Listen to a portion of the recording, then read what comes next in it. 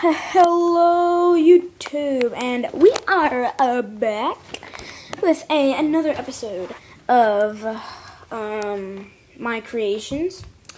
And so the, I built another um another Minecraft uh creation.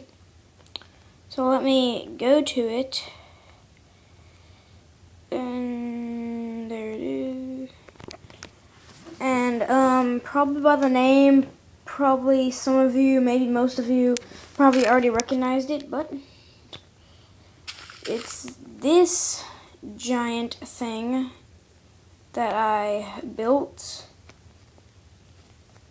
This is its like tail, and then when I go to the front, it has a face. and you see I had to like kind of expand the land there, so yeah. And yeah, so it's a chest buster from um the from the Alien versus Predator movies and the Alien versus Predator games. And or game maybe I should say. And um yeah so this is from the movie Alien versus Predator. And um I think it's from the yeah it's from the game too. And um it's a chest buster.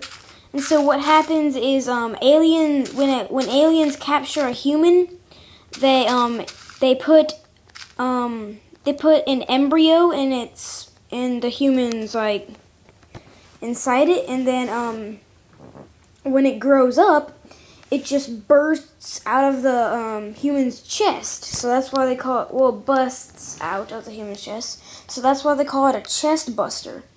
And it's like and it's like it's like a it's like a very long worm, and it's like and it has a face, and, and it has a head and things, and it's an alien. So yeah, just thought just thought I sh- I could sh- just thought I should just just thought I should I should show you that. So and that's it for this episode, and hope you liked it. Like, comment, subscribe, and I will see you later, guys. Peace.